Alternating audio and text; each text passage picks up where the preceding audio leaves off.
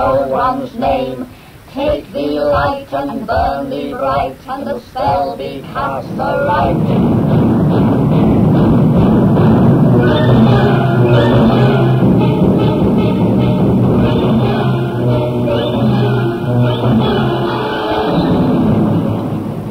the spell of witchcraft.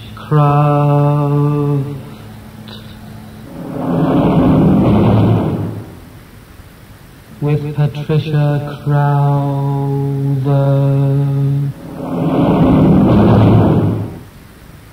This week, witchcraft. Today.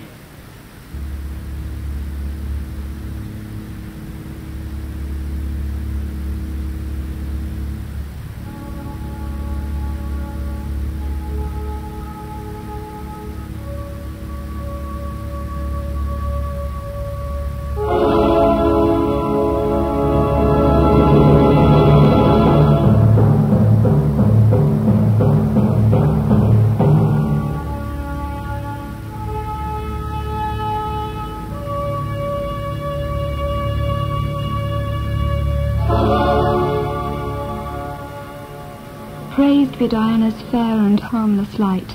Praised be the dews wherewith she moists the ground. Praised be her beams, the glory of the night. Praised be her power, by which all powers abound.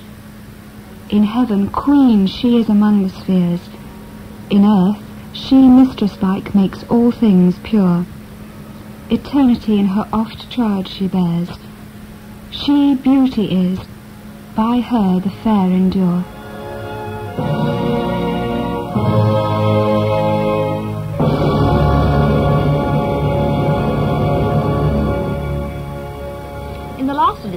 I'm going to talk about witchcraft today and tomorrow, about the moon goddess, and about the moon itself and its influence in the present day. For witchcraft belongs to the space age as well as to the stone age. I'm also going back into the past and looking at some of the ancient prophecies for our future. And I think you'll find that the story of witchcraft is the story of England.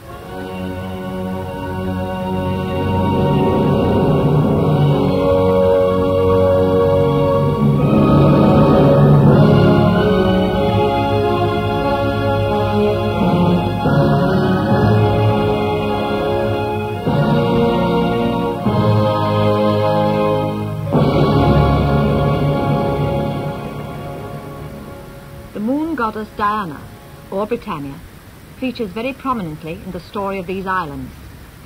Bishop Geoffrey of Monmouth gives an account of the arrival in Albion of the Britons in the 12th century BC. They were led by one Brutus. After the fall of Troy, Brutus was determined to found a new city. They arrived at a certain island, and in it was a desolate city in which they found a temple to Diana, and a statue of that goddess which gave answers to those that came to consult her. Brutus himself, holding before the altar of the goddess a consecrated vessel filled with wine, prayed thus. The goddess of the chase, look upon us on earth, unfold our fate, and say what region is our destined seat. Or where shall we next to thy lasting temples raise, and choirs of virgins celebrate thy praise? Well, after saying this prayer, he took four turns around the altar and then laid himself down to sleep. In the night, in his deep sleep, the goddess seemed to appear before him and thus responded. Brutus, there lies beyond the Gallic bounds an island which the western sea surrounds. By giants once possessed, now few remain to bar thy entrance or obstruct thy reign. To reach that happy shore thy sails employ. Their fate decrees to raise a second Troy, and found an empire in thy royal line, which time shall near destroy, or bounds confine.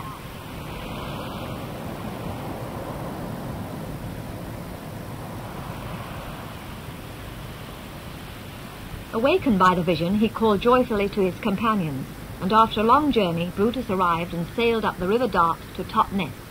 And there in the streets of Totnes you can still see the remains of the Brutus stone, which he is said to have brought with him from the goddess's temple.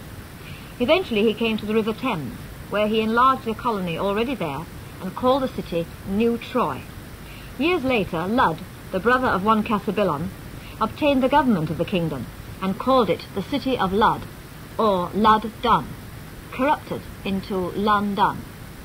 So thus the goddess fulfilled her promise in making these islands the envy of all, and she still watches over us in her role of the clan mother.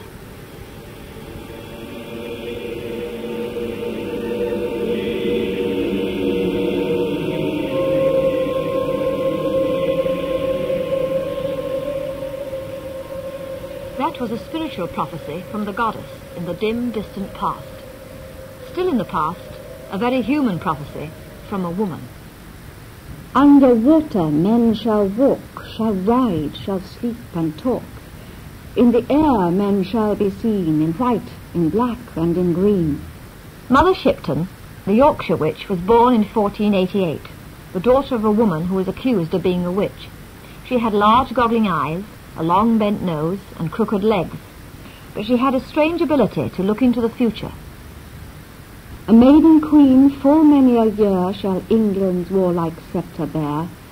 The papal power shall bear no sway, and Rome's trash shall hence be swept away. she said, forecasting the accession of Queen Elizabeth.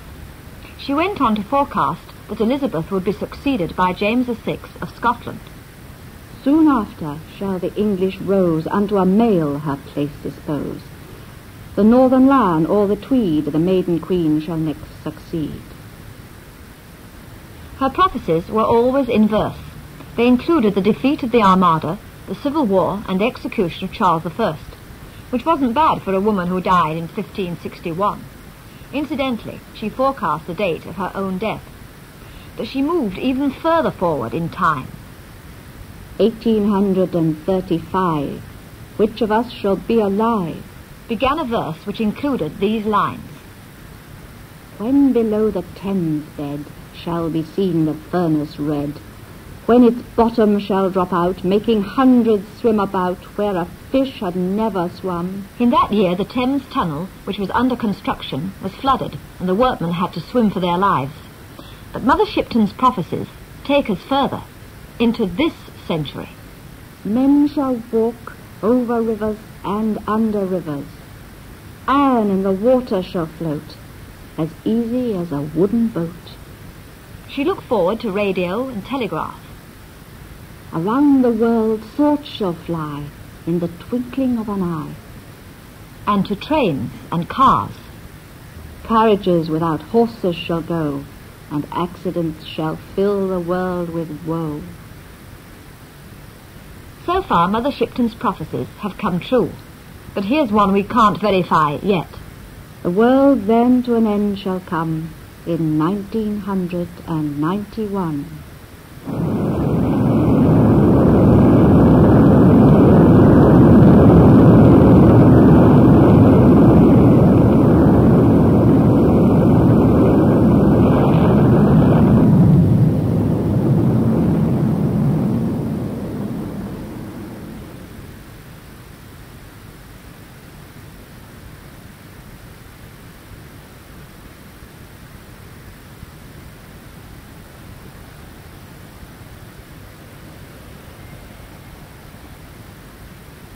During the last 20 years, we have seen a renaissance of the witch cult, with its worship of the feminine life force personified as the moon goddess.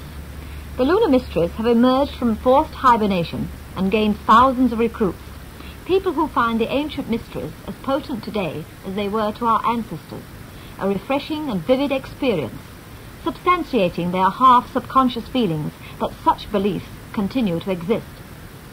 In spite of the persecutions, many witches continued to practice in secret and handed down the knowledge to their children. Thus, a lot of rituals have been preserved to our present day. My great-grandmother was a witch who came to England from Brittany, but I was initiated into the cult by Dr. Gerald Gardner, who himself was brought into the craft by a group of hereditary witches in the New Forest. The power comes from the gods. It's it mustn't be mis- misused. If, if you can misuse your power, all right, but you lose it if you do. So it's, it's just as plain, uh, plain as that. Of course, it isn't a thing that belongs to everybody. Some people have a, a sense of the old things, a sense, a desire for peace, a sense of wonder, and a sense of companionship and good fellowship. And that's what witchcraft gives you. I truly believe that I have been a priestess of the goddess in a previous life and have certain tasks to carry out in this life. I have also been guided by an old lady in Scotland who is a descendant from a witch family going back over 300 years. Letters received have also provided proof that the cult has indeed existed in secret over the years. Even today, in this so-called scientific age, the supernatural continues to hold a powerful attraction for most people. Many study astrology, palmistry, and divination by cards and other means. Many of the forces called supernatural are really contained within nature and are therefore natural, but not generally understood. Things such as clairvoyance and clairaudience, known to many people as the sixth sense. This was Mother Shipton's gift. Witchcraft teaches spiritual development of the individual, and the development of this, the second sight. This awakened interest rather strangely coincides with the world zodiac, in which it's said that we are under the influence of the moon for a period of 36 years. The cycle began in 1945, so until 1981 we will remain under the moon's influence.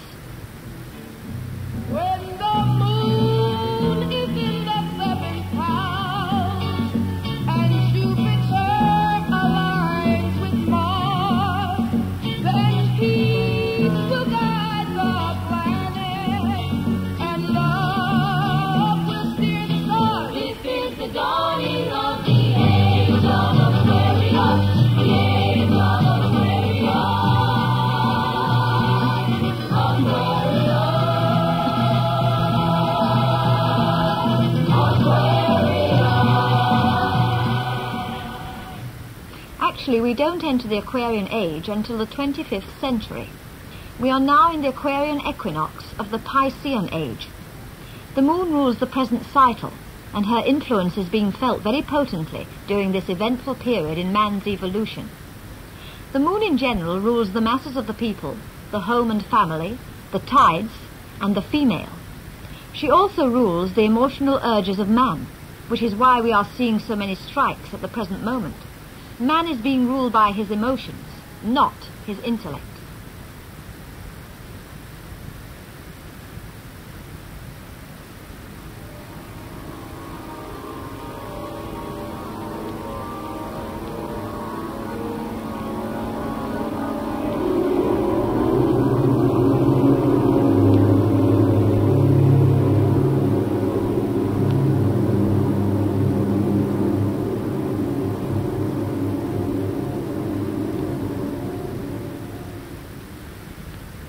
The 20th of July, 1969.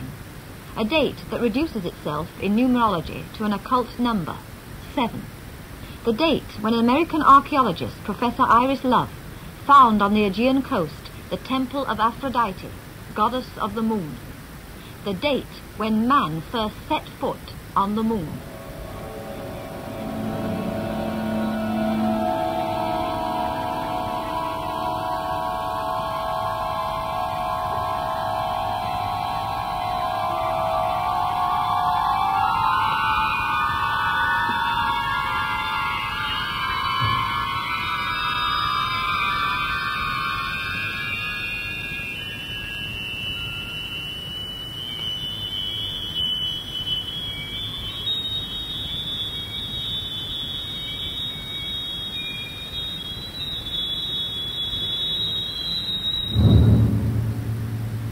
20th of July, 1969. The year has two nines. In occultism, nine has always been the number of the moon. The moon itself measures 2,160 miles across. The numbers here add up to nine. The 20th day of the seventh month, the figures again add up to nine. And the whole date, 20th of the 7th, 1969, reduces itself to seven. There seems little doubt that science and the occult will be closely linked in the moon venture. And although the moon's secrets are about to be probed, I feel she will not give them up easily, if at all. Spiritually, man has always venerated the moon and the forces for which she stands since the beginning of time. There have been many religions embracing the threefold goddess, and initiation into the moon's mysteries were regarded as a pearl beyond price. The priestesses of the moon guarded her secrets well, and were regarded with awe by the people. A true priestess must always be sterile, her magical career being far more important to her than having a family. She must give her whole being to her art, to bring the moon forces through to the material plane. Initiation into the moon's mysteries changed the person in a subtle way. A door was opened through which they could glimpse their true identities and sense the universal plan, with the spark of the eternal within them.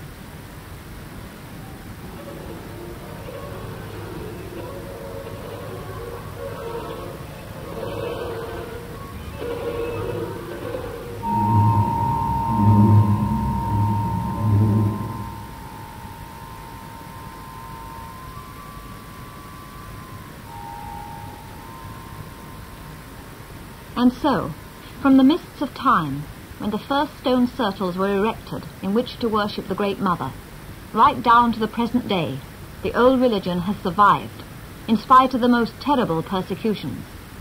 But it is not only myself and the thousand other practicing witches in Britain who keep the craft of the wise people alive.